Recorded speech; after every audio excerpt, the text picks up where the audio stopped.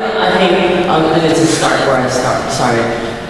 I remember holding a press conference in City Hall to say that we were looking for both a uh, environmental impact report that we knew would take several years and we wanted to start it. And that we wanted to, to put out a, a request for qualifications for people who would develop it. And why it's important is not just the sports team, but it is the future of East Oakland, and it is a multi-billion dollar project. Because it's 130 acres of some of the best open land on a major transportation corridor. I just took a ride today um, to the, the airport connector.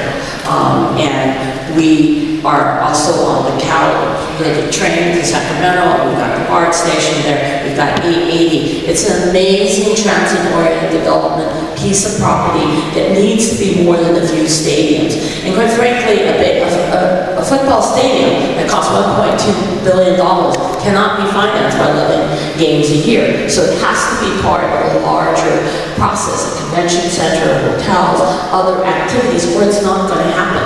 So it's been a lot of hard work, but I stuck my neck out and people laughed at me then, like on many other things, it's like, oh, what do you know about sports? But the reality is I brought it home, I brought it closer than it's ever been, and I've stuck my neck out on it. And it's not just because of the teams, it's because of the future of East Oakland, the need to develop one of our most precious assets and to create jobs and opportunities in that part of town.